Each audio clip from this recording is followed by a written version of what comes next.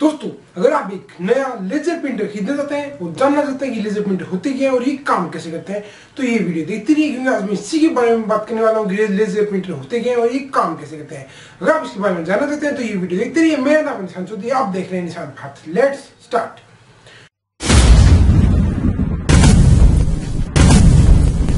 दोस्तों, आपने कोई लेजर प्रिंटर तो देखा ही होगा, या फिर आप कोई नया लेजर प्रिंटर खरीदने की सोच रहे होंगे तो आज बात करते हैं कि लेजर प्रिंटर काम कैसे करते हैं।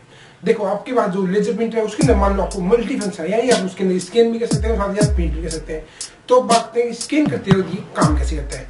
मान लो आपके डॉक्यूमेंट आपने वो डॉक्यूमेंट स्कैन में रखा जैसे जैसे आपने उसे स्कैन में रखा, उसके नीचे से लाइट आती है, वो उसे स्कैन कर लेती है। यानी उसकी इमेज वो अपने अंदर जो उसका प्रोसेसर है, उसके अंदर उसकी एक इमेज तैयार करती है।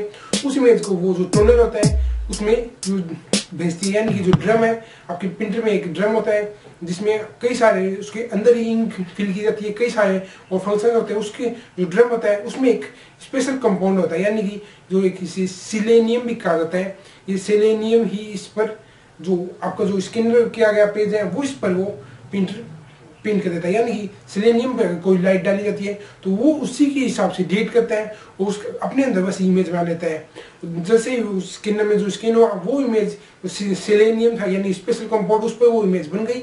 और अब जैसे ही हम जानते हैं कि उसके ऊपर जो इमेज बनाई गई अगर उसे हम किसी टोनर के ज़रिए उस पर अगर इंक लाते हैं तो वो इंक उस टोनर से यानी कि जो स्पेशल कंपाउंड है, उसे चिपक जाती है।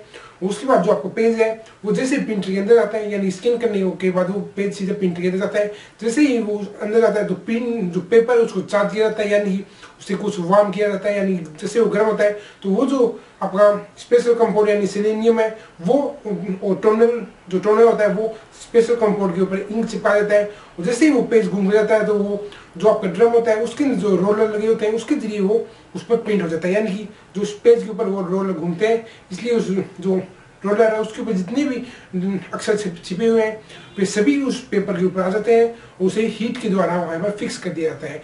यानी कि उसमें आपको हीट भी देखने मिलती है। जैसे ही आप देखा होगा कि, जैसे आप पेज प्रिंट करते हैं तो पेज लगभग उस गर्म होता है। इसी के कारण होता है क्योंकि जो उसके अंदर इंक है, उसे आसानी से चुकाया जा सके। वैसे इंक सूखी हुई होती है, मगर उसे उसे चिपकाया जा सके। यानी कि उसकी जो इंक है, वो बाहर आने के बाद खराब ना हो या फिर उतरे नहीं। इसलिए उसमें हीट कम मिली जाती है। ये होता है प्रिंटर मुझे उम्मीद आपको पता चल चुका होगा जैसे प्रिंटर क्या होते हैं और ये कैसे काम करते हैं। अगर आपको ये वीडियो पसंद आया तो वीडियो को लाइक कीजिए शेयर कीजिए और चैनल को सब्सक्राइब करना ना भूलें। I will see you in next one